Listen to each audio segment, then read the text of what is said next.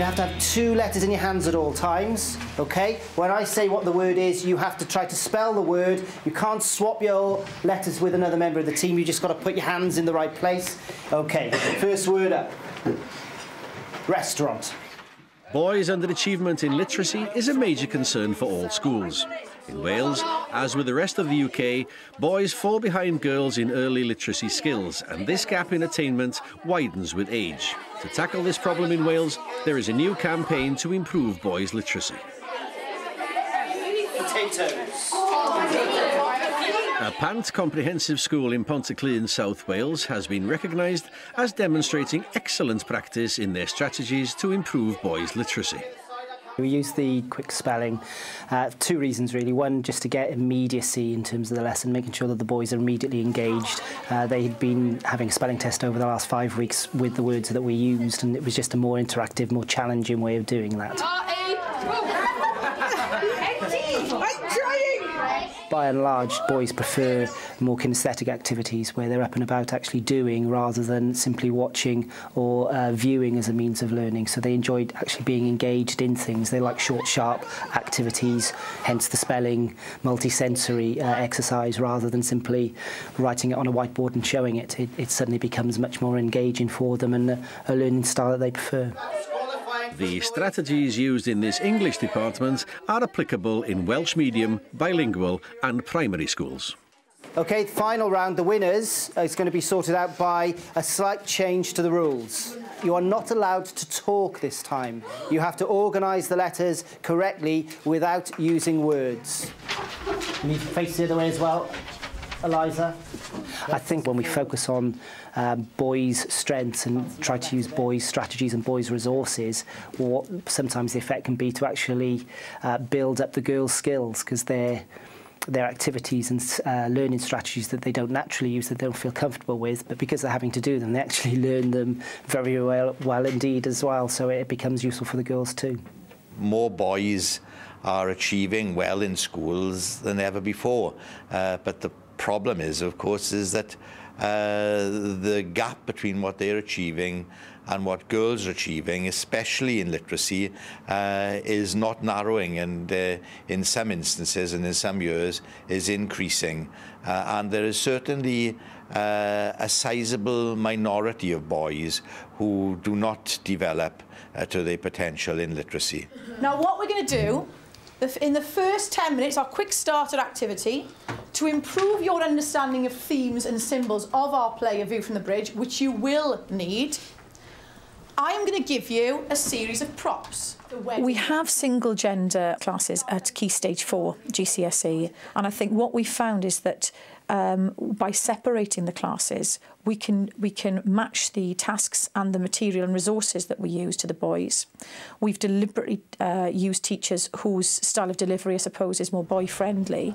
And I just think responses from the pupils will tell you that in the majority of pupils, the boys find it an environment where they're prepared to take risks. Well, because it's an all-boys class, you can be more comfortable with each other and like express stuff a lot easier than when you're like in a mixed class. Well, the good thing about English lessons is it's a lot easier to do presentations in front of all the boys. Like, just seems easier and more comfortable having a laugh. Yeah. you can have a lot more male humour, make jokes you wouldn't be able to make with a female class. So, and we got a teacher that's all right. Props onto her, pass them round.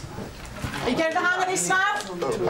Pass them round, Auntie, The lesson um, starter activities, I think, are really important to hook the interest and engagement of the pupils you're teaching. And something that is as tangible as props onto it, and it, again, it's a gimmick. Anything that you've got as a sort of visible or tangible tool to help anchor uh, your learning objectives and aims. And what I tried to do with that was give them something that symbolised a theme in, in the play. Right, stop! Stop! Boys, up this way. If I agree, this point gets this team gets the point. Read it out. I can sing paper doll. You like paper doll? Right. Excellent. Point goes to three points and a half, and you cannot use that quote again. Particularly when you've got a class consisting entirely of boys, the motivation or to keep them motivated and enthused and uh, give them a purpose for their learning, organising them into teams or groups gives them that purpose, gives them that motivation. Everything that they do then contributes to that team. So if they get uh, an A star for coursework, because this is a GCSE class, it relates to five uh, points for their team.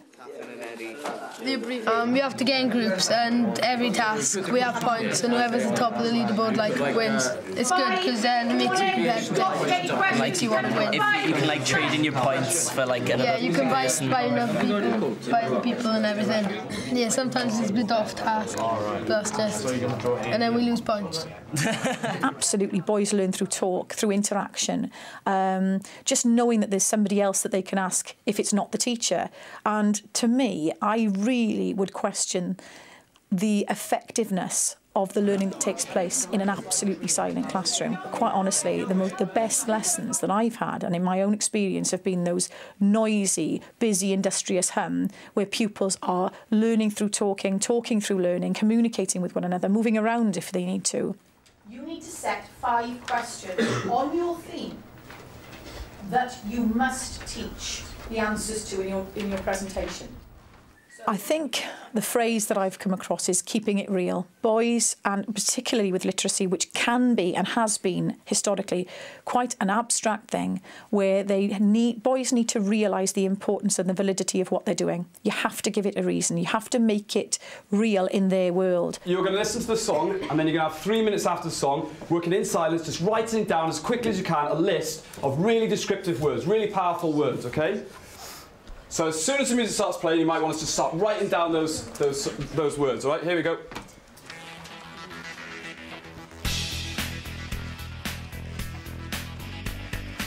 There's some great words there. Try and build on those words, okay? Think about the words like lyrics, sound, the, the what, what instruments did you hear? Can you describe those instruments, perhaps? The guitar, the drums.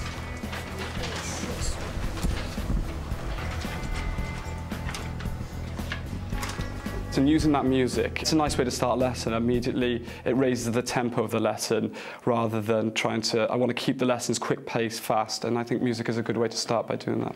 Goose bumping around. I wanted to appeal to those who are solid music le- uh, learners, basically sound learners. Um, so I chose an upbeat song that they could all enjoy and get into something fresh and young for them as well. Dan, aim, upbeat, fire. We've got to get in that order. Near, aim, unique, fire. Upbeat and unique. Isaac, upbeat or unique, which do you prefer? Um, upbeat. I need to try and get boys involved in expanding the vocabulary, basically, uh, being more descriptive. Um, so I thought about the best way to do this, and the game was clearly the best option, especially for boys. They love that competitive element. Um, and bringing this, this kind of sense of violence into it without there being any you know, real violence, I suppose. Boys were really, really um, enthralled with that idea. Aaron, aim, enticing, fire. Dan, aim, immense. Oh, that's a good word. I think it's very important as a male teacher to be seen um, i using all facets of English, you know, uh, the way I speak, uh, that that I can enjoy words and enjoy using words uh, constructively and effectively. Uh, pupils also would like, to, you know, the, the, the boys especially see that as a positive role model. The boys will come and tell me what books they read and I'll go away and read those books as well. If the, the narrative, the story has, uh, is well written, both boys and girls will appreciate it. I like like action action books and um, different magazines. Uh, I like Anthony Horowitz's books, Hobbits, uh, yes, like Stormbreaker. I'm reading Russell Brand at the moment, and it's really funny. I like reading like adventure books. Mainly like horror or um, like sort of um, real life ones. Uh, like Harry Potter books sometimes, um, but I never really finished them to be honest. But I think boys like Um, Yeah, action books and scary ones probably. Read, read horror or maybe like comedy stuff like that. I think books about football, sports, stuff like that. Girls are more like fantasy and stuff, and happy and stuff like that. Boys like the action books and girls like teenager girly books. Um, like like when it's about like girls and love and stuff. Girls like more emotional type of books and boys like more action books and sports books. Yeah, we don't like that type of stuff. We don't like emotional like books. Um, what we're going to do now, I'm going to assign bank managers and plan officers to each of you. You're going, those of you who are left are going to have to do your explaining to the people who are coming to visit you. You've got to make sure your restaurant sounds superb. Okay, Sam and Kieran, with the girls here, please. Where are the kitchen slash toilets located? At the back, right at the back. Don't you think it would be easier to have the kitchen in a place where you can get to everywhere uh, easily? Yeah, but there'd be a waitress in every room and there'll be like a bed I think role play is a real opportunity, particularly sort of in the early years of secondary school when they don't think that it's too ridiculous to, to, to be doing role play exercises. I think it's a real opportunity for them to sort of engage and also imagine what it would be like if they had certain careers. I mean, the, the two two activities that I gave them today, that of bank manager and, and planning officer, you know, they can they're the sort of roles that some of those boys will see themselves in in future, and therefore, you know, it's easier for them to engage in the idea of them being that particular person. I don't think it's very hygienic having the toilets right next where there are activities such as role play, where there's an element of competitiveness in the learning, uh, where there is uh, a great deal of variety in the lesson. It's broken up into small bite pieces with quick feedback, moving on to the next step, where there are clear targets, where there's a very firm sense of purpose and direction. Those sorts of learning tend to engage far more boys than learning which is based on a large amount of, of teacher talk and follow-up confirmatory writing tasks. You need to make sure that you've included these things. Okay, if they're not on your list, make sure they are by the time I've finished talking. The use of technology in the English in this school has, has, has just gone overboard in the last few years. Uh, every room now has a, a projector, a few of the rooms have interactive whiteboards, and, and virtually all our lessons are delivered through PowerPoints and through the use of some technology or other. And I think it, it immediately engages the boys. It's, a, it's an element of, of, of skill and learning that they're familiar with and they enjoy.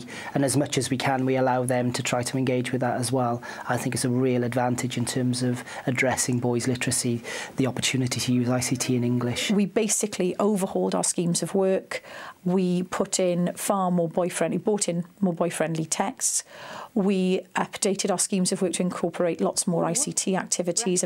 Um, we have included far more reference to media and non-fiction and ultimately then we introduced the single gender classes at Key Stage 4. So there's been a whole host of activities or strategies that we've tried to implement uh, to motivate boys. Whose dream is it to have a motorcycle? That's lovely because it's a closed question. We only want this to show understanding or memory of facts more than anything. And the relationship you have with pupils, but boys particularly, should never be underestimated. There are things that pupils will do for a teacher that they believe is on their side and that they have a good relationship with that they wouldn't do for others. And that's very, I, I, it's probably honest of me, but I think that that is absolutely true. It's all about personalities and relationships and praise of what they do well. I don't, I don't think should ever be underestimated.